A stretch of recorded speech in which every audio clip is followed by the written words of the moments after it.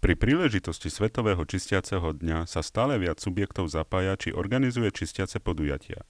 Inak tomu nebude ani tento rok. V sobotu 18. septembra sa môžete zapojiť aj vy.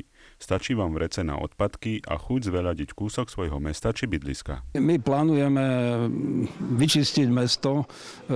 Ja, ja som veľmi rád, že občania sa ozývajú, že to mesto potrebuje trošku upratať a určite pozitívne hodnotím aj poslancov, ktorí to myslia dobre a vyzývajú ku poriadku a čistote. Ja sám som proti neporiadku a už absolútne proti nečistote.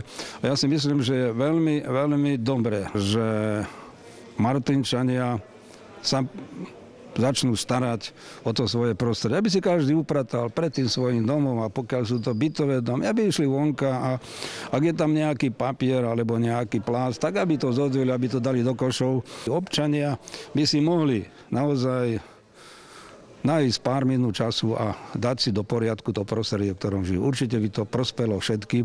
A hlavne má to obrovský výchovný význam, pretože tá mladá generácia bude vidieť, no porí sa, keď to poškodíš, tak to niekto bude musieť opraviť a, a my to musíme opravovať.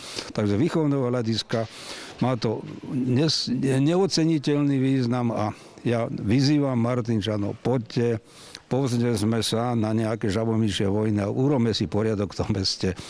Určite e, bude to limitované, ale to, čo vieme holými rukami urobiť, urobme. Obyvatelia si môžu v sobotu vo svojom okolí zorganizovať vlastnú upratovaciu akciu alebo sa v tento deň zapoja do rôznych upratovacích aktivít organizovanými prostredníctvom združení.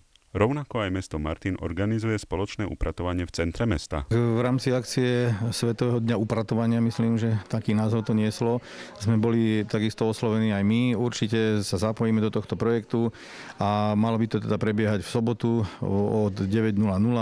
Zraz budeme mať pri budove Milénia v centre mesta a tam sa už potom dohodnú koordinácie ďalšie, ďalšieho postupu prác.